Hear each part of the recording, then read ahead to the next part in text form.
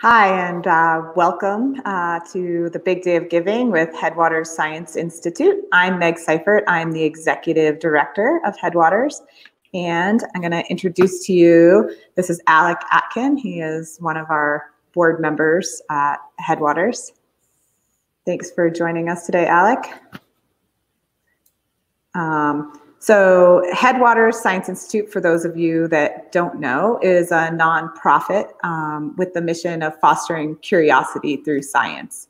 And this is super important to me uh, because I think that kids don't often have a chance to do um, what I call real science, which is going through that process of actually doing research and understanding what it means to um, create a question, test a hypothesis. Um, it's it's just something that most people, unless you go to graduate school, don't really have a chance to do. You might be able to do something like, um, I don't know, do a lab in science class, but you already basically know the answer. So Headwaters tries to get kids a variety of science activities um, and other curriculum through our research projects. So they are using writing skills, critical and analytical thinking skills, and um, presenting skills. They end with a presentation. And we also teach statistics uh, to high school students. Um, I think it's super important, especially right now as the, our current education environment's been changing, that we do what we can to get kids a great education. Um, so this year uh, we have we're doing the big day of giving again with the Sacramento uh, Community Foundation, um, and um, it is uh, through um, through this foundation that we today are trying to raise money. We have a $10,000 match, and this money will be going to support our online programs as well as um, our school programs once we get back to a place that um, we can we can do this. Uh, today, you can donate. It's bigdayofgiving.org backslash headwaters. Um, and I would like to enter, and so if you have a chance, please go on and help support us. It makes a big difference. This money um, allows us to do these programs and it allows us to give all kids a chance to get some uh, great science education. All of our online programs so far have uh, have been free. Um, we are we are going to do an online summer camp. That one will have a charge, but we're also raising scholarship money for it. So, Alec, are you? Uh, can you hear me now? Hello. Hi, Alec. Um, good to have you on. Um, I was hoping that you could talk about why the Headwaters um, mission is important to you.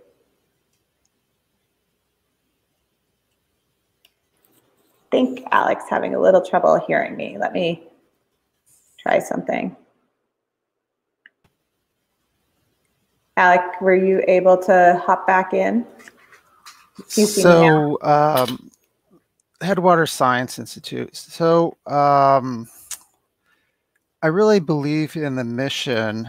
Um, it's important for our young um, kids um, elementary, middle school, high school to learn about science and um, to learn about how science work and be curious. And in particular, Headwater Science Institute, there's a lot of involvement in actually going out to the field and touching and doing. And for kids um, to increase their curiosity and understanding of the world, this is really important. Um, I'd like to kind of um, talk about why, um, how I ended up joining Headwaters uh, Science Institute. So I have, um, I've known Meg for about 10 years. My kids uh, ski at the Auburn Ski Club where Meg was um, a director there. And um, so she had asked me to help coach for the kids. I did that, and then I ended up joining the Auburn Ski Club board for about three or four years. Um, and then one day I got a an email from Headwater Science Institute, which I knew was uh, Meg's uh, organization, and asking me to donate. And so I went and I checked in Form 990 Foundation, which is an excellent place to see how nonprofits are using money. And um, I looked over their finances because I don't donate until I know that the nonprofit is actually using the money wisely. And what I saw was uh, an organization that had um, very low overhead. So that is, they don't spend a lot of money on unnecessary things. It's just money. The, sal- the money is mostly going towards salary and their expenses to lay out their programs. And I thought, wow, this is a really good organization. One, she's got a mission that I can really appreciate, and the other is um, that she um, uses her money effectively. So I sent in a check. And next thing I know, I've got a little email from Meg asking me if she wanted to join the board. Um, and then, uh, of course, I talked over my wife because it is a bit more time to, out of the family, but she thought it was a really great uh, fit for me. And so um, I ended up uh, joining the board.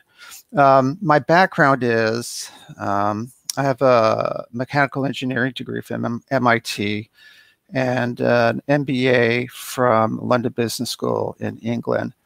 Um, and also, I've worked in Japan for six years. Um, I've been in a bunch of different sorts of industries, worked at HP for about 15, and now I'm currently at a behavioral health company in California out in Sacramento. So that's a bit about myself. Thanks. Thanks, Alec. Um, that was great. Um, yes, I was so excited that Alec uh, chose to okay, join our board. and so Meg, okay, thanks, Meg. Yeah, I'm really excited that Alec was able to join our board and has been able to uh, give us just a lot um, of great advice and help uh, through his big business uh, background and his engineering background. Um, it's really brought a lot to Headwaters. So, um, Alec, what live stream events are you most excited about today?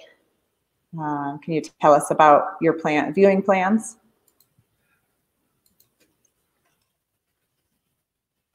Okay, so today we have two interactive science lessons where you can watch along and participate from home. The first is with board president Andy Giordano in just a little bit at 9 a.m.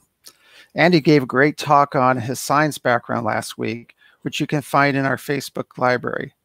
The second interactive lesson today is a live version of our weekly science challenge lesson with Mary Ellen, we started these lessons about six weeks ago, and they've been a big hit. And today we're going to do the lesson live in nature. Another exciting part of today is you'll get to hear from a lot of people involved with what we do. Everyone from some of the school teachers we work with, they'll be speaking at 2.30, to our grad student instructors like Daniel Dudick at 1 p.m., to more of our board members popping up throughout the day. And finally, at 4.30, we're streaming a happy hour party. In part, we want to do something to give back to our supporters, so we arranged a few special guests. Jenny and Jesse Dunn for the Dead Winter Carpenters are going to play us a few songs. We're really, really grateful to them for stopping by. We'll also have our board members, Jack Holmes, sharing some cocktail recipes, and Craig Rowe will lead two rounds of trivia. You can follow along with us, and we'll award prizes for correct answers. Plus, if you donate today and play trivia later, we'll give you five extra points. Now back to you, Meg. Yeah, so um, with the uh, big dog, you just hop online again at the um, bigdayofgiving.org uh, slash headwaters and um, you can go ahead and grab your five points uh, for towards the trivia um, as well as help students get a great science um, education. So I'm going to turn it back over to Alec. We've already had some great people who hopped on, um, some right after midnight last night to support us today uh, with their donations. And we would like to thank some of them live. So um, Alec, if you could uh, go ahead and do some thank yous. I'd like to thank uh, some of our donors who've come in early today. Um, without you, we really couldn't have this wonderful um, organization. We have Veronica Kendall from Savannah, Georgia, Stephen Blackmer from Canterbury, New Hampshire. We have an anonymous. We have Nick Pavlina from Capitola, California, Lynn and Allie Houston from Big Flats, Wayne Johnson from Concord, New Hampshire, another anonymous, Lydia and Dirksa Judson from South Paris, Maine, Carly Goodnow from Lancaster, South Carolina, William Toscano from Ligonier, Pennsylvania, Buff Went from Truckee, California, and of course our board president, Andy Giordano. And we'd like to, uh, we have a t-shirt, Headwater Sciences t-shirt that we are giving away as a special thank you and that's going to Nick Pavlina of Capitola, California. Back to you, Meg. Yeah, congratulations, Nick. We are excited. We'll be having prizes throughout the day, um, and we are excited to be able to go ahead and give away some t-shirts as well as some other prizes later on today. I'm going to go ahead and let Alec uh, get back to work. Um, Thank you, Meg. It's been great talking. And goodbye. Yeah, bye. Thank you, Alec. Um, I really appreciate you, uh, you know, joining us and taking time out of his his busy workday um, to to join us. So right now, um, I hope that you guys hop on and donate, and I am going to bring in Spencer Usden, our program director, and we are going to talk about programs for a little bit and show you some photos. Um, from our programs as we wait until about for about 20 minutes um, until Andy Giordano, our board president, um, can hop on. So welcome, Spencer. Good morning, Meg. How are you? I'm great. How are you doing? I'm doing great. It was great to see Alec and um, hear him say why he's so excited about Headwaters. You're wearing a great T-shirt today. Where'd you get that? Today's the shirt for. Uh, this is the shirt for today. Mine you can't see as well in the in the live stream. I'm too small, but uh, yeah, it's a it's a good shirt. You can pick up some of those at our website if, uh, anyone's interested in sporting their own, or you can win one of these uh, through our big day of giving um, donations. So I am going to um, pop out for just a second, Spencer, and um, queue up that slideshow if you want to uh, mention a few things about why you like working with our programs. Um, yeah, as you uh, as you all watching at home we'll get to see in um, just a little bit um, through the photos of some of the programs that we're sharing. Um, we get to do a lot of really great science um, with students outside, and I think probably my favorite part of teaching with Headwaters this is a pretty novel experience for a lot of the students that we get to work with. Um, many of them haven't had the chance to actually do open-ended science like Meg was saying, and that a lot of the questions that these students are trying to answer when they're doing their experiments, they don't have an idea as to what the answer will be. And neither do I as an instructor. We're kind of investigating something new or investigating something in a, a new type of habitat. And so get to go out there, get dirty, get muddy, and do real science that um, there's a real sense of exploration in. Um, and so we've got today's awesome schedule that you can also find linked on our Facebook page here that can tell you when all of the uh, all the best events throughout the day are. Um, and it's pretty um, it's pretty neat, um, especially at 4.30 today. We've got our happy hour, uh, like Meg said earlier, where we've got the Dead Winter Carpenters, Brian and Jesse Dunn coming along, um, as well as some really cool trivia.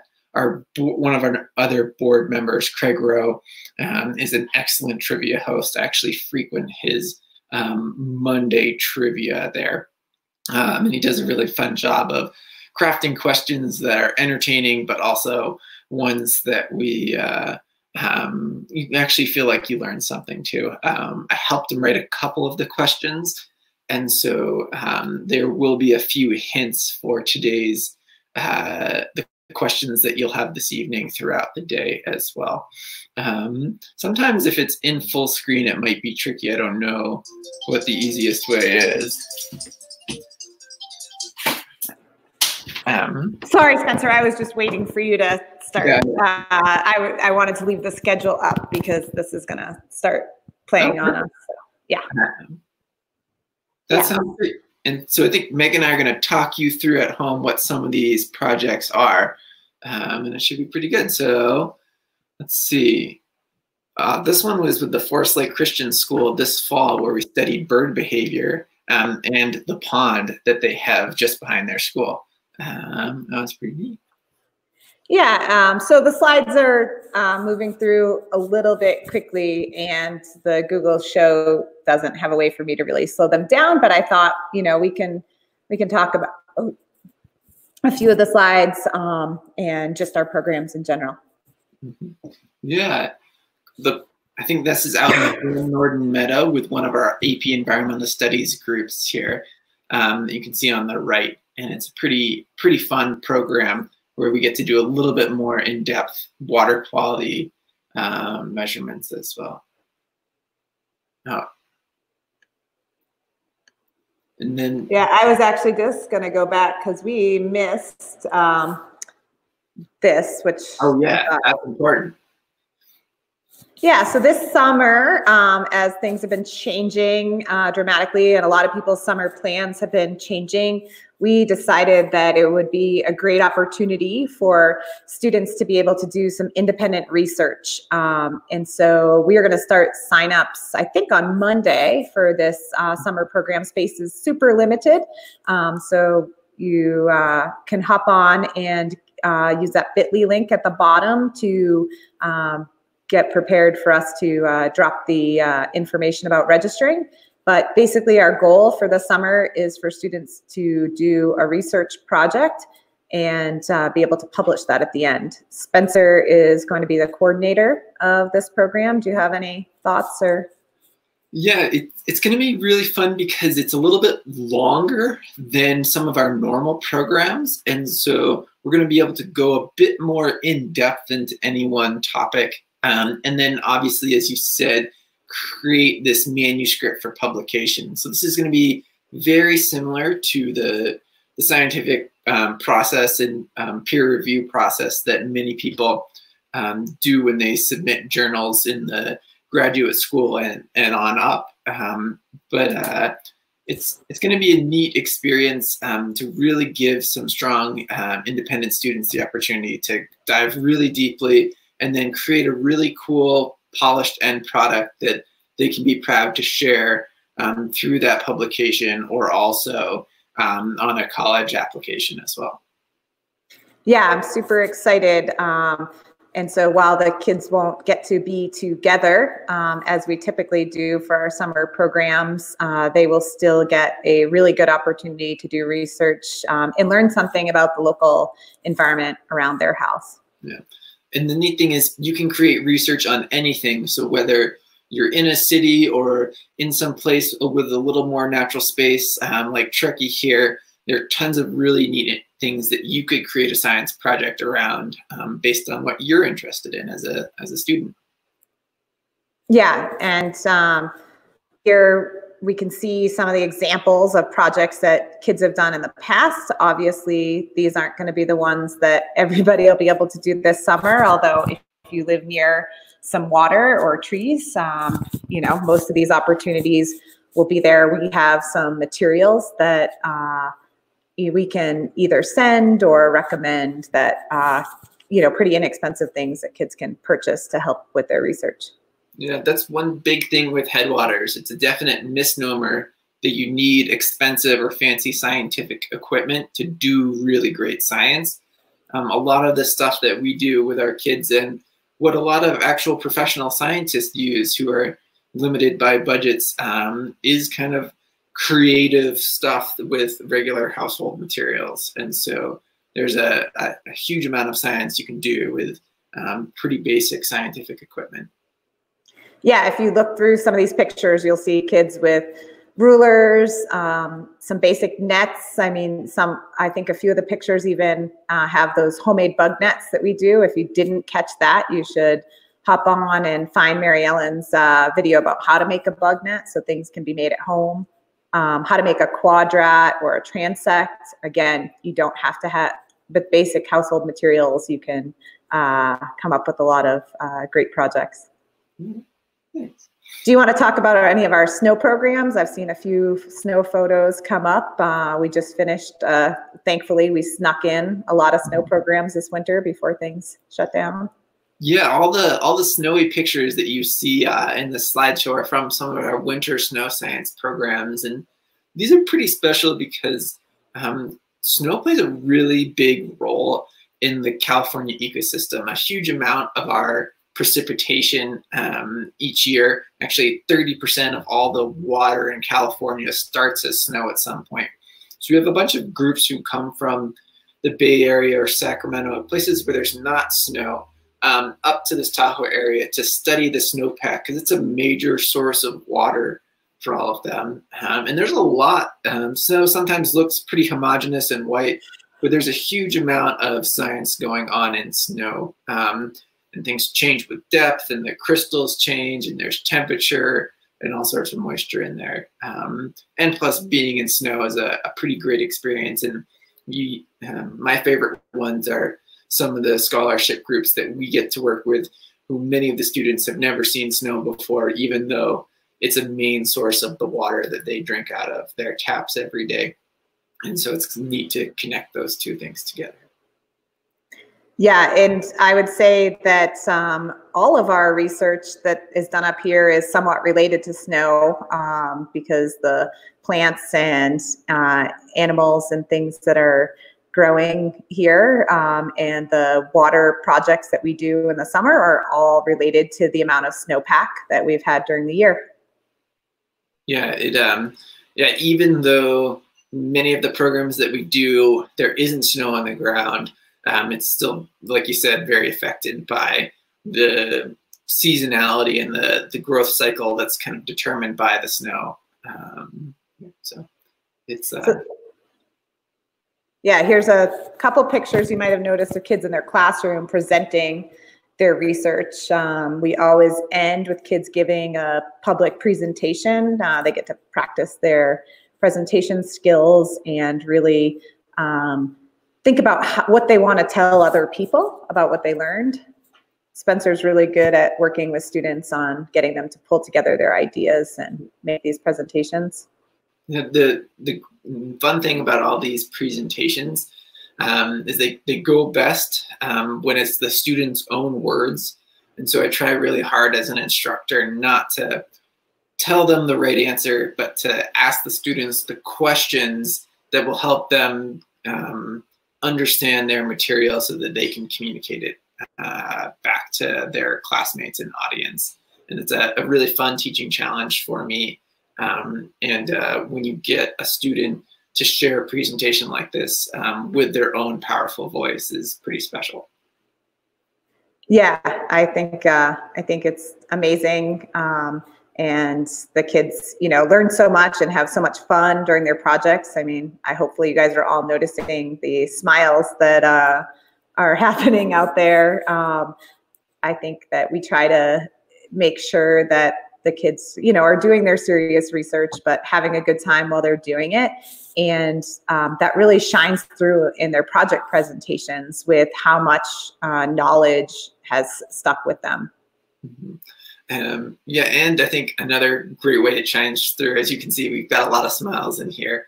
Um, but we also do um, pre and post survey surveys before all of our programs. We ask the students a bunch of questions about what they think about the sciences and how confident they feel, and then we do it again at the end.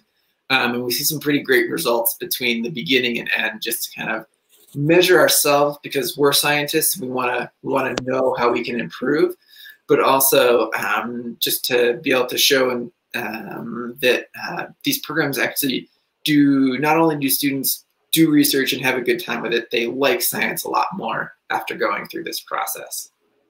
Yeah, that's Spencer's ongoing research project is uh, how well uh, how well we are doing and the students are doing uh, during programs and what they're learning. Um, and I have to say, it feels really good at the end um, to see what the positive results uh, that we're, you know, positive impact we're making on all of these students. Yeah, um, there have been so many students that we've worked with who have said something. This is actually a quote. It's like, um, the people who know me know that, you know, science isn't really my thing, but after doing this, like, I think it might actually be okay. Um, and being able to take a student who is um, kind of set maybe that they're not a scientist or that's not something that they could do to um, be able to open that door to them is, uh, yeah, it's very special and why I love to do the teaching I do. Yeah, it's uh, that's an in, incredible feeling. Um, you can see again from some of those pictures, we are able to make labs almost anywhere. Um, so uh, kids use testing kits. Um, we've used them on the side of the river, in the kitchen, at a house rental, um, all over. Um, so it doesn't, you don't need um, here in the lodge at Clair Tappaan, you don't need a science lab. Uh, you do need to be careful in your own house that you don't uh, contaminate anything your parents don't want you to, um, and that you're acting safely. But I would say there's a ton that uh, you know that you can do from home. Yeah, um, it doesn't have to be overly complicated. Um, you just need to set up something that you can do repeatably, and uh, that's science. Yeah, it's um, it's it's great, and these kits are things that can easily be ordered or um, you know, we could send some basic basic tools. You can see solo cups in a number of the pictures make uh, great, um, you know, great things to uh, measure out your samples in. We also reuse uh, recycled water bottles, Ziploc bags. Um, all those things make great uh, sample collecting. Um, yeah, um, it doesn't, doesn't need to be complicated. Oh, we've got the girls' camp here. Yeah, so we have a few programs we want to highlight for just a minute before we bring on our board president, Andy, with his lesson for you at nine. Um, so for the past few summers, we've done this amazing girls' science camp. Um, it's the highlight of my summer. Uh, we still haven't gotten a clear answer yet to whether we can host this at Webber Lake, but um, just because it's probably my favorite part of uh, teaching for Headwaters. I thought I'd share a little bit. Um, so here's some photos. This is at Webber Lake last summer. This is a group of girls um, at the end of our project. Uh, this is Carly. She's super into bugs. Um, and uh, she studied bugs as part of her uh, her research project. Um, we were out at Webber Lake. We do this in partnership with the Truckee Donner Land Trust. Uh, there's our campsite with some kayaks and uh, we have tents around. We make our makeshift lab and research areas uh, around the camp. We make plenty of time for fun with swimming. We do, this is a service project where we were doing some trail building and maintenance. Um, and it is just an amazing week. Uh, that's Ashley Pierce, one of our uh, Headwaters instructors, who's taking a little time in DC right now working for the NSF.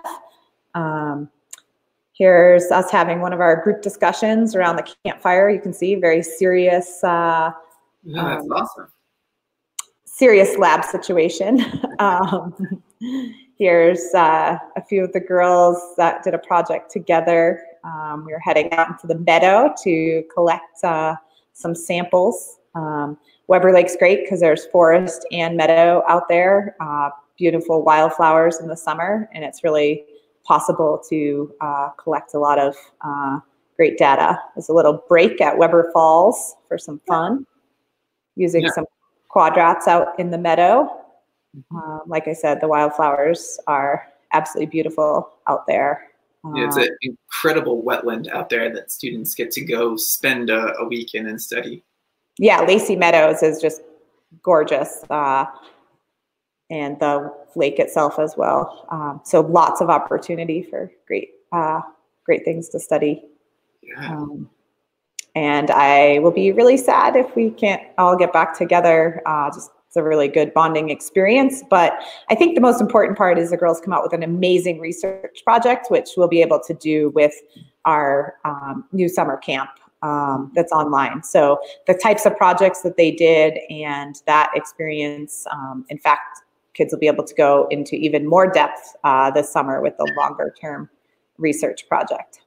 Definitely, it um, it's a really cool cool thing and has a a really special um, special feeling compared to a lot of our programs. I've only get to see the very tail end of some of the science presentations, um, but it's really really a neat thing.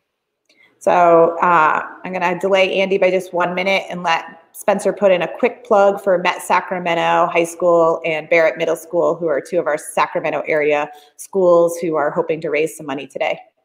Yeah, exactly. So the Met Sacramento, it's a school we work with um, for years. We'll actually get to talk to their teacher, um, Chris Chu, at 2.30 today. But they often come up for a snow science program like we were talking about. Snow is really important to these students who live in the Central Valley because agriculture is such a big thing there. These photos are actually from two years where we had about 15 to 20 feet of snow on the ground that really kind of changed, uh, changed some of their perspectives on how much snow we could actually get. Um, so we had a lot of digging, but also a lot of neat science to see how does snow change with depth there. And then I think our next one is the Barrett Middle School. Their teacher is Lori Sindelwaro. She'll also join us at 2.30 for our panel of teachers. But we had a giant field day up here in the Van Norden Meadow um, this winter studying all sorts of things like this insect, a water boatman. Um, we had a really fun time with these students. We kind of canvassed the meadow and collected a lot of really neat data on all sorts of the, the living things there. Um, and so we were really excited to have that. And that was probably one of our biggest and my most favorite field days from this past fall. So thanks, Spencer, for sharing with us. Um, I am going to say goodbye to Spencer for a little while, and we're going to bring in Andy Giordano, our um, our board president. So thanks for sharing about programs, and you'll be able to see Spencer a little later on. All right, bye everyone. All right, um, and I am going to um, go ahead and bring in Andy Giordano. He is um, He's our board president at Headwaters Science Institute. Um, and Andy is going to give us a uh, lesson on photography. So just a little background, Andy and I went to graduate school together at Washington State University um, back a long time ago. I can't believe we're getting that old. Um, but um, in that time uh, that I was in grad school with Andy, he was an amazing partner, um, especially with uh, the more mathematical end of science. Um, we did some great problem sets together.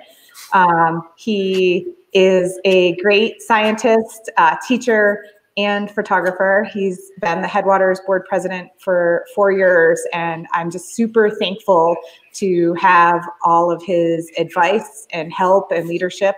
Um, he uh, he brings the perspective of being a, having been a scientist, um, having is a, currently a teacher, um, and I would say uh, the scientist hasn't really left him, as we learned last week in his um, his talk with a scientist.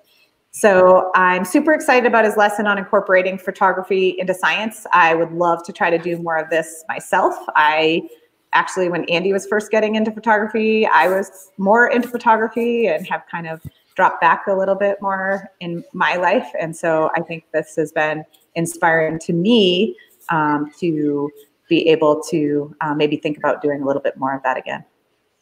Thanks. Great. Thanks, Meg. Those mathematical genetics problem sets are seared into my memory. There's no question about that. Good times. Oh, yeah. Uh, so Meg was actually the first person who suggested that I trade up from a to a digital camera. We're talking uh, 15 years ago, 14 years ago now. Um, when I would come back from adventures with like reams of of film, and so the 24 shots in one roll would all be of the same thing. She was like, "Man, you you really probably it's time for you to just get a digital camera," and that was a big step for me along this journey. Um, So, Meg, if you want to get my Yeah. PowerPoint up there. I'll do that and I will pull myself out and turn it over to you. Thanks, uh, Andy, for uh, doing this for us today. Yeah, And of course. A lot of people will learn a lot from your lesson.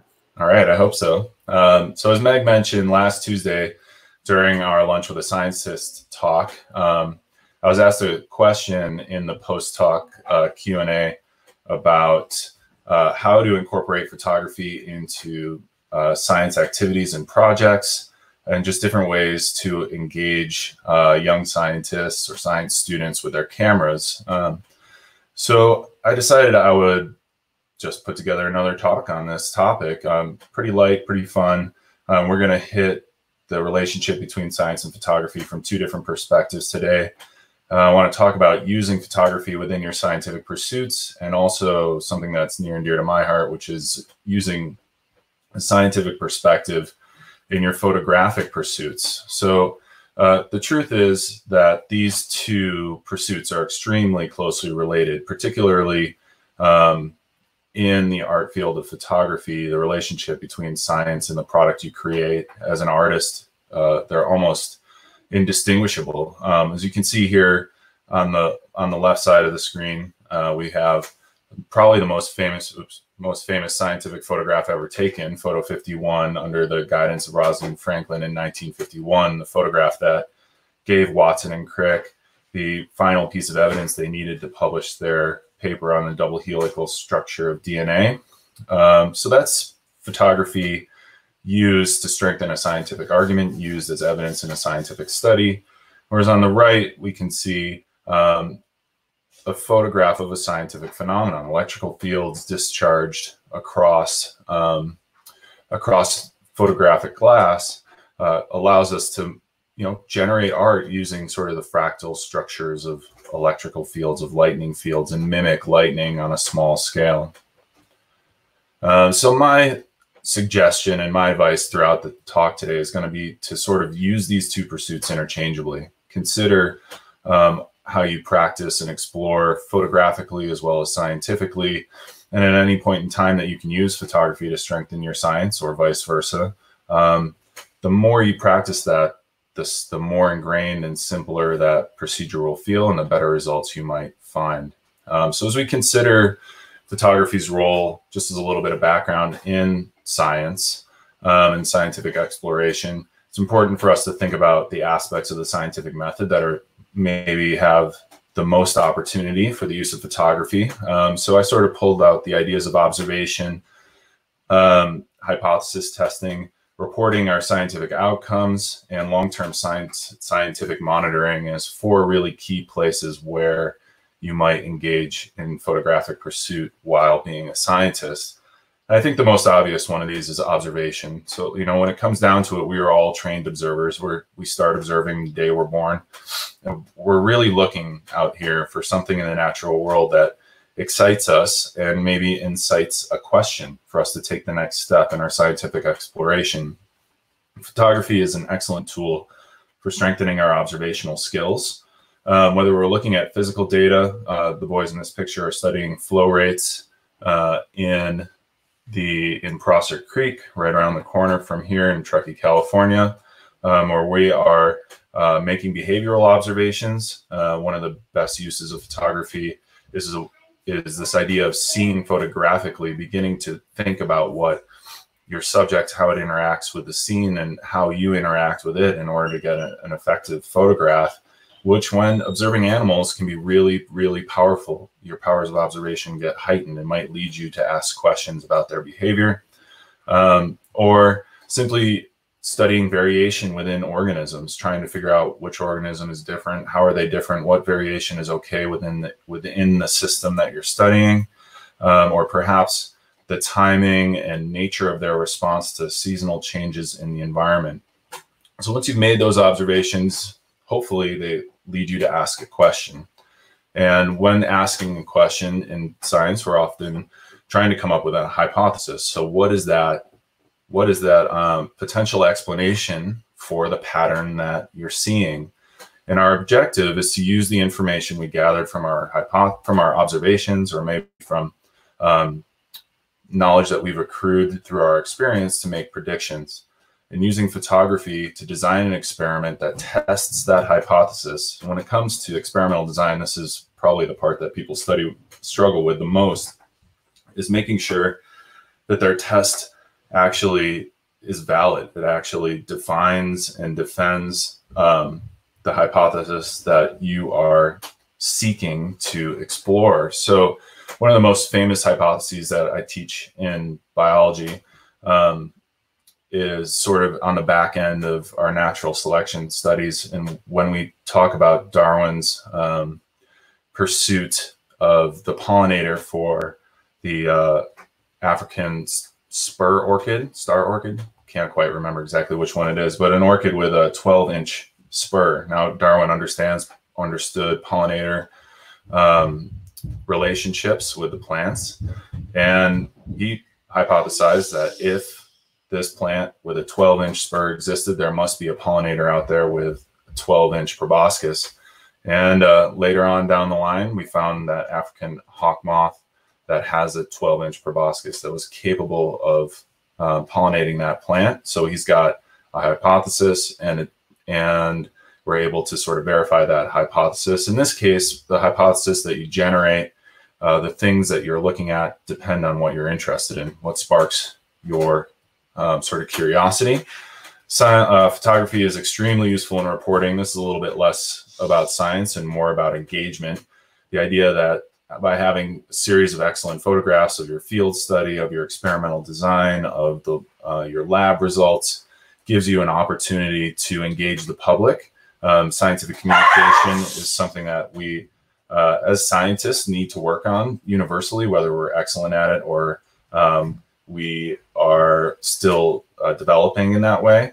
The way in which we communicate our ideas is critical in order to uh, get engagement, get ears on our ideas. And that often requires us to uh, have really compelling photographs to tell that story. And also long term monitoring. Um, whether it's tracking humpback whales with their sort of unique fingerprint like tail prints uh, in order to see their migration patterns um, and and just verify that they keep coming back to their their grounds year after year. Or um, just last week, one of our students caught a massive, massive rainbow trout in the in the Little Truckee River, and I sent the picture to uh, to one of our local guides, Matt Heron, who uh, immediately texted me back a picture of the exact same trout that a friend of ours had caught uh, a week earlier. Just knowing gives us some information about how far these fish move up and down river just because of the patterns of the spots on the fish are exactly the same. Um, on a larger scale, uh, Mono Lake is pictured here, and we can sort of get a sense of the depth of the lake. And for for decades now, um, they've used photographs to communicate with the public about the the advance and recession of of the water line in Mono Lake in order to sort of communicate to the public, hey, uh, depth of this of this lake is important. It's a unique ecosystem, um, and how we manage it has an awful lot to do with our patterns of water use. And photography is an excellent way to show us that, as well as communicate to the public the importance of the system and and how it changes over time depending on human patterns of water use. Um, so that's sort of like a framework for us to think within. Um, and the question the original question was, what can I do? How can I incorporate photography into my studies? So I've got a few ideas here.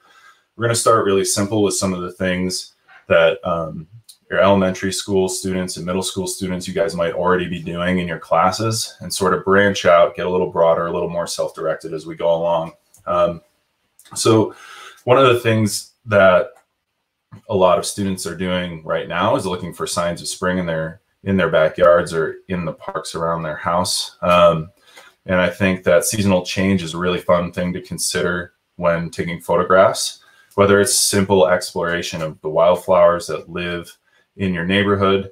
Um, there are other expressions of spring, obviously. Uh, around here, we see various parasitic snow plants stop, start to crop up. You may have access to standing water or rivers and lakes where you might see amphibians that are starting to lay eggs all these sort of things are great signs of spring that can help connect your younger student with nature and sort of get them excited about what's going on outside during change, um, during periods of change. Um, obviously, if you are looking for an experimental approach to using photography in this way, these images can be used to predict times, times of change. When do we think these flowers will, will bloom? How does the community of flowers change from year to year? Um, looking at uh, salamander eggs in this picture, we get to make predictions about when we think they're going to hatch and become larvae. And there's a lot of different long-term sort of things we can do. Change is always fascinating. Some of the most popular subjects to photograph uh, around the nation are evidence of seasonal variation. Considering the timing of when leaves start to senesce in the fall is really uh, compelling and fun photographic exercise that we can engage in. Um, and both of these things, just getting outside, taking pictures, looking for looking for evidence of change in our environment, could lead us to generate maybe a backyard catalog um, where we're collecting images of interesting biota in our neighborhood, in the area around our home, and just start compiling them and get a sense of what that community looks like, what that ecosystem might look like. And good pictures of these subjects. You'll notice there's nothing like too too hard to track down here. Um, good pictures of these subjects can then be brought home, laid out in a, a, a layout like this, and used to uh, identify or key out the species that exist in your system. Uh, also going on, at least in our household right now, and I'm sure many sort of kindergarten and elementary school households around the US, uh, a lot of our kids are growing their own seeds. This is a fairly standard curriculum. Um, and we can use photography, photography instead of drawing a flip book, uh, drawing the sort of stages of change as our seeds grow for a flip book, as our younger kids start to understand how plants grow, um, how fast they grow, what kind of decisions they make, what they need to grow. Um, they can take series of photograph every day, make a little time lapse video. Obviously, parents, you'd have to help out with that, or we could print them out and sort of make a flip book out of those pictures. Um, I guess a tip for this would be to just try to uh, try to get your your child to hold the camera in the same position every time. I can testify that that is a bit of a challenge and sort of adds a layer of difficulty for those uh, supervising this activity. Um, slightly older students might be asking questions about uh, growth rates. And it's pretty easy to put a ruler, uh, like tape it onto the window right behind, right behind the plants as they're growing, make predictions about how tall they'll get, how, how much they grow every, every day and sort of engage in a more predictive level with this kind of an activity.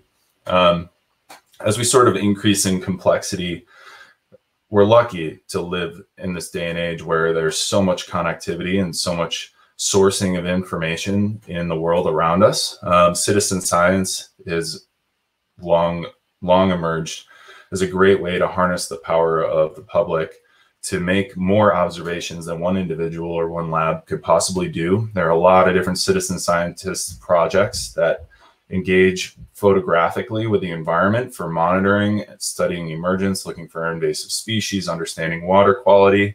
There's a list of a number of them here. I'd highlight Citizen Science Lake Tahoe, uh, the mobile app generated by TERC to focus on water quality and invasive species in the Lake Tahoe Basin. It's a really easy app to download for free, get registered, and start collecting data when you're at the beach. Um, other options on here that are really compelling for a young student include the iNaturalist app, through which you can generate your own BioBlitz or uh, inspire your teacher to do so, in which you're sort of cataloging diversity throughout throughout your local ecosystem. There are literally hundreds, maybe thousands of these opportunities out there to, to use your phone to gather data in a compelling way, learn more about your ecosystem and contribute to real science that's going on nationally.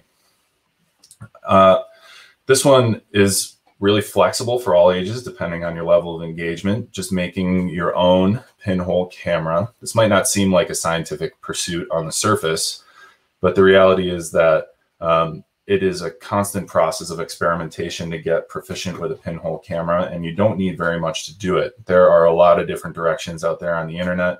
The link below is sort of the simplest, most ground level uh, set of directions for getting started. Any light tight box can act as a camera, so that part's really easy. You can use a box, you can use Pringles can, you can use uh, any sort of thing that you can close up uh, as a tube or a rectangle. Um, and all you do is get some photosensitive paper like Polaroid film, tape it into the back of the box, and uh, punch a little hole in the front. It's usually a good idea to use some tin foil or wax paper for that hole.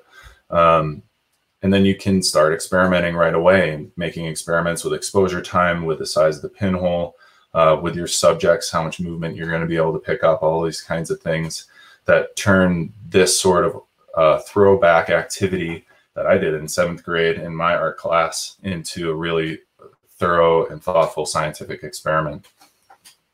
Uh, one of my favorite things to do as a photographer is to study animal behavior. I sort of alluded to this before. Um, the opportunities that present themselves when you're in the woods with a camera to take photographs of animals in their natural habitat are really interesting. Um, and they also can provide you with insight into how they behave, giving you the foundation to create hypotheses that you can use photography to um, explore. Um, these two images, both of birds in the field, uh, were both sort of provided me with an opportunity to think a little bit more more deeply about the system that I was exploring at the time. Um, if we scroll down to the next shot, we've got two marmots here that are engaging in some dominance behavior, trying to figure out who's going to be the king of the mountain. Um, these are these are just entry points, right? What is the question that can come from this?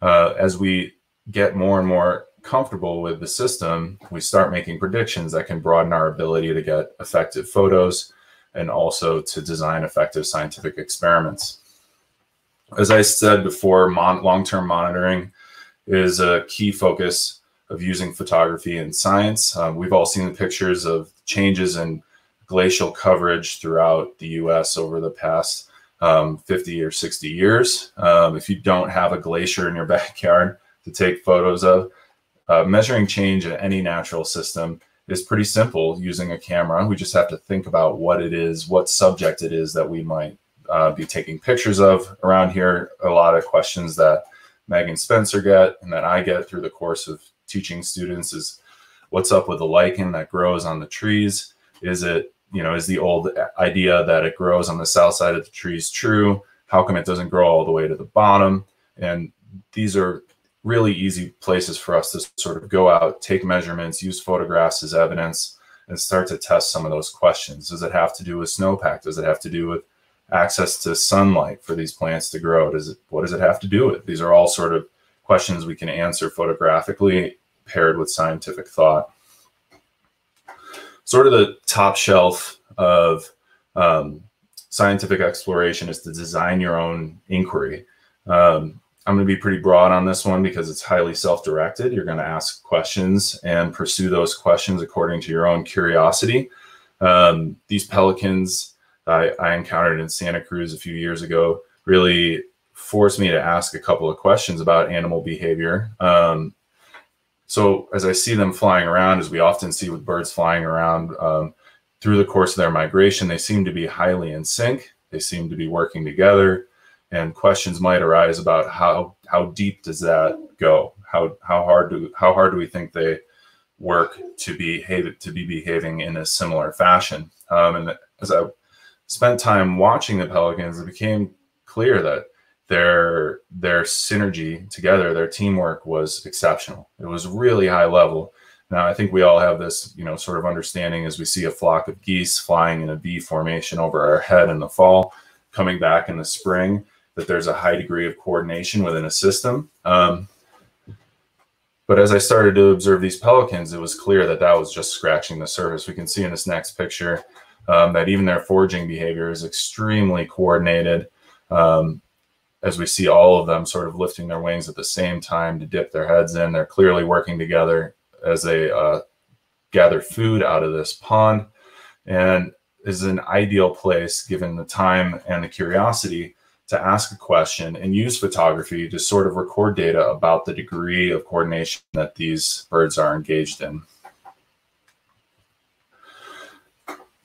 So on the other side of things, how we can use science to strengthen our art largely comes down to being predictive. Now, photography, if you are a photographer, you've learned about principles of reciprocity, yet the technical aspects of how we execute a photograph that matches our vision.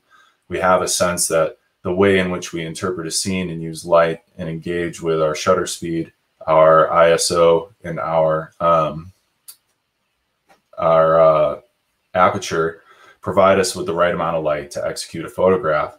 Um, and as we get become more and more competent, more comfortable, stronger in mastering that craft, that stuff kind of moves into the background and gives us an opportunity to think about the natural world scientifically in order to generate art that that we can do repeatedly by being predictive and engaging with the environment. So a uh, few ideas, things that I like to do, things that you might find interesting uh, that are that do require a predictive nature and experimental nature. Um, the first one, and maybe the most obvious one, uh, my students certainly gravitate towards this right away, is to play with long exposure, to consider the amount of light in your scene, how long you can make your shutter in order to end up with the effect that you're looking for. This image uh, took five minutes to expose and required an awful lot of experimentation in order to get right, given the large amount of light that was on the screen or in the scene at the time.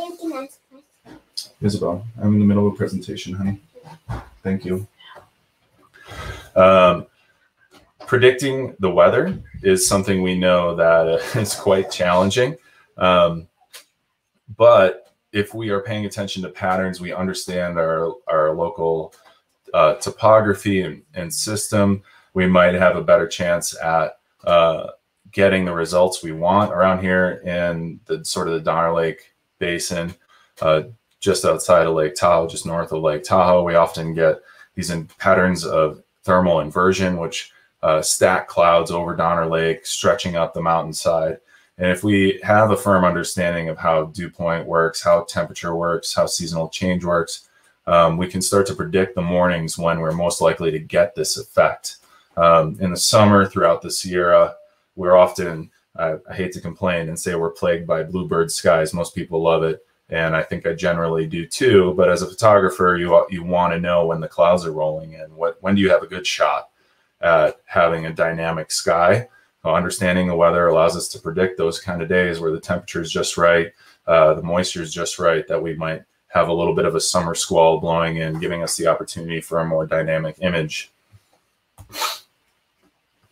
Uh, fundamentally, the way that we compose an image is scientific in nature. I know it is it is artistic as well, sort of the aesthetic choices that we make um, and the conclusions that we draw are often feel very artistic, but the way in which human beings interact with art, with an image, is neurological. So if we can understand how the elements of design can draw an individual's eyes towards our image and allow them to spend more time with it, that puts us in a really strong position um, as an artist to increase engagement with our work, whether it's the use of leading lines or compositional rules. Um, we're able to sort of hold the viewer's attention for a longer period of time and start a conversation about that work. Fundamentally, photography is all about light. Um, light is obviously one of the major units in your physics class. So understanding how light interacts, uh, how it diffuses through clouds, what nature it takes when it's at a low angle as it's going down and coming up, how it behaves in the middle of the day, how it interacts with objects, increases our capacity to take photos uh, that use light effectively and therefore are, are, a little bit stronger in their artistic sense. Um, one of my favorite things to do uh, as a photographer is to look for symmetry and look for natural patterns. Sometimes that symmetry takes place uh, as a reflection. Sometimes it's engineered, like with these flowers. It's also really fun and rewarding to explore the natural patterns that we see in things like flower growth little bit more on the technical side, scientific, uh, scientific thought, technical execution is creating a composite Uh, this there are a lot of different ways to do this. Um, this photo was taken by Etienne back in 1892. So this these uh, this style of showing motion has been around for a really long time. Um, nowadays, how we set up a composite of a human or an animal in motion, taking multiple exposures on our camera. If we're shooting digital, we're then taking that into Photoshop and and blending all those images together to make our composite. Um, what we care about as a scientist is is visualization. How do we ask our model to behave in order to execute that? How far apart does our do our pictures have to be in order to get the the spread between each individual that we're looking for? So that's a little bit more of a technical idea. Um, really hammered on this earlier, but understanding wildlife, wild animal behavior gives us a much better chance of taking effective photographs of animals in their native habitat. Um, just knowing when they're active, how they're active, how they behave with humans, um, what kind of uh, what kind of range that they're occupying. Get, all those things give us a much higher chance of getting an effective photograph of the organism that we're that we're thinking about taking a picture of. Uh, more abstract, a little bit more uh, subconscious. It's the idea that we can create paintings or photos that look like paintings from nature, all of this within the camera. This is a process of experimentation, um, which is why I included in this talk as we talk about using scientific skills. You're never going to nail this right off the bat. Um, the picture on the left is a tree stump, and you can see that it's quite blurry. That's not done in post, that's done in camera with uh, just the simple action of zooming in and zooming out on the lens while the shutter's open. As you can imagine, it takes a lot of experimentation to get that get that effect just right. Um, on the right, we can see uh, a different effect, not done by zooming in the camera, uh, zooming in the lens, but done by panning the camera up and down the bark of the tree while while uh, clicking the shutter. So slightly longer shutter speeds on these, but it takes a lot of experimentation to get the image that you like. You may have to play around for an awful long time, but that experimentation can be really rewarding if you're happy with the outcome. Okay, and, and lastly, maybe the easiest place to think about how our choices and understanding of natural patterns can create allow us to create effective imagery is looking up taking pictures of our astral bodies so knowing when and where to to look for uh, the Milky Way is really common. Astrophotography has become very, very popular over the past six or seven years. And this requires a high degree of prediction. We have to know what phase the moon is, looking for a new moon so that the stars are as bright as possible. We need to know what direction that Milky Way is with regard, um, not just to the compass point, but also to the foreground elements or the background elements you might want to include in the image. Um, and we need to think really hard about our, our light triangles. We make decisions about how we want those stars to look.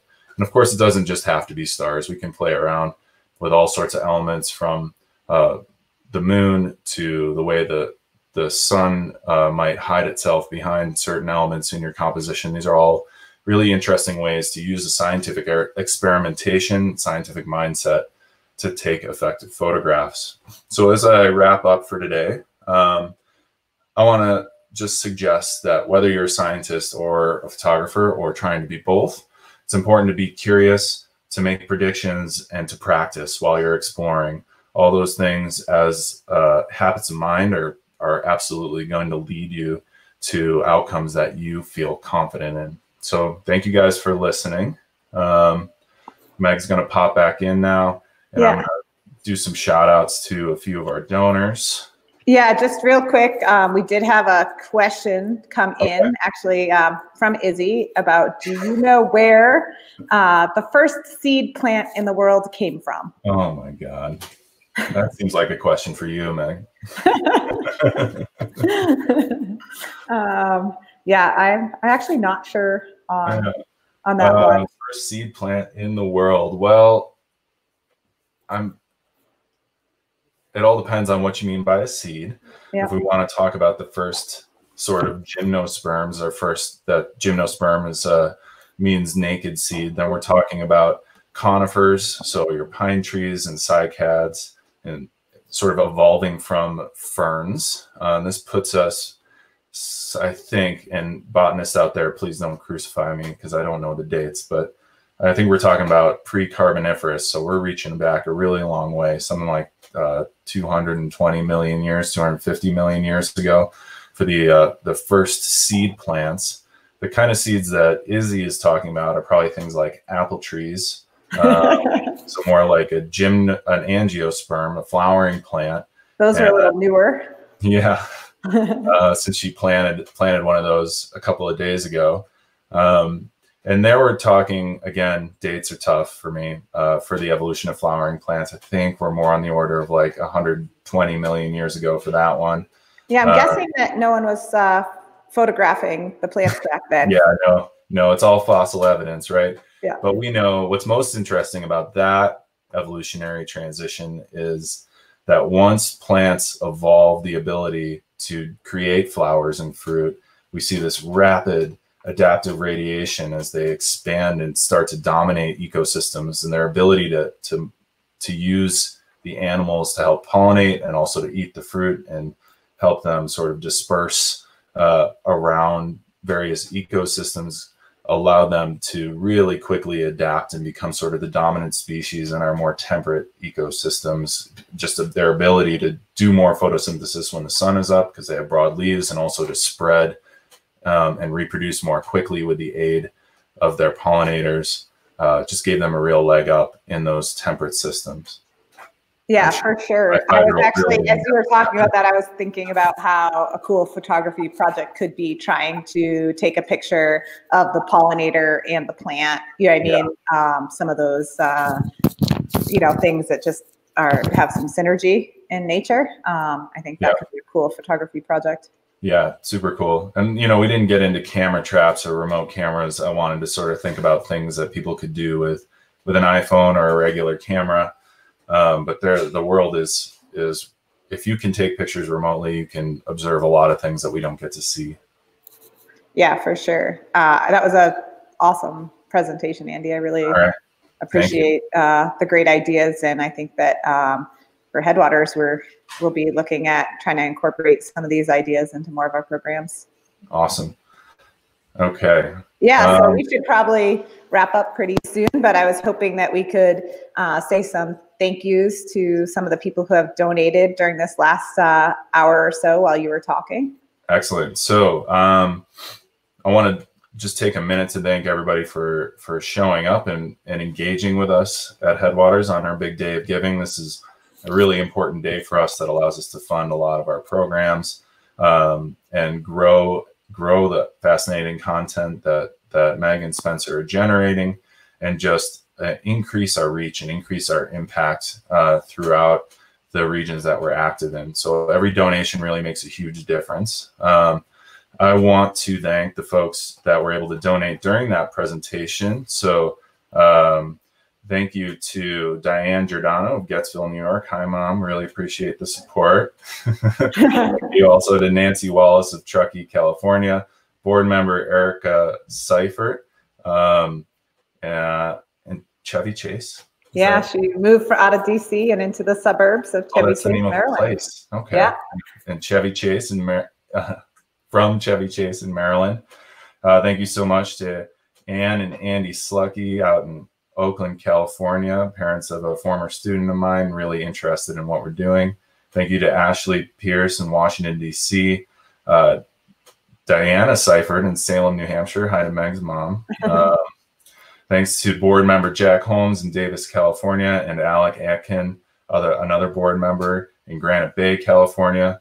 Um, thank you also to Amy Atkin in Granite Bay, California, and Leah Gleason here in Tahoe City, California. Thanks so much for donating during this period, guys. We really appreciate it. It makes a huge difference. Yeah, we're excited. We have our $10,000 match today. So it's a great day to donate because your donation will be doubled. Um, you can get on at the bigdayofgiving.org backslash Headwaters Science Institute and uh, you know donate today to support this um, our online videos are reaching a ton of kids i i don't know that i actually had a chance to tell Andy, but last week we reached about 5,000 people through our Yeah, through our online. Don't tell me that stuff before I go. Tell me after I go. Yeah, um, actually, that week that with your uh, last week with your scientist talk, um, things just really took off. We had some more people share and more teachers that were able to get it out to their students. And um, That's you know, great. we moved from numbers around a thousand to about two thousand the week before, and we had a big jump to almost five thousand last week. So Well, that's excellent.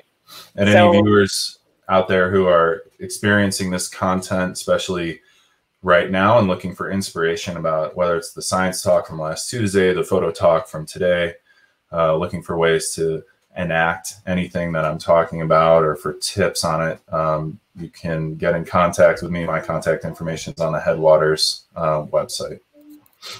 yeah, thanks, Andy. And I think uh, if you're ready to, we can sign out until a little bit later today, uh, this afternoon. Um, Spencer and some teachers, and I think Erica's hopping, one of our board members is hopping on. Um, so go ahead and uh, you can donate in that time. You can get your extra points for trivia.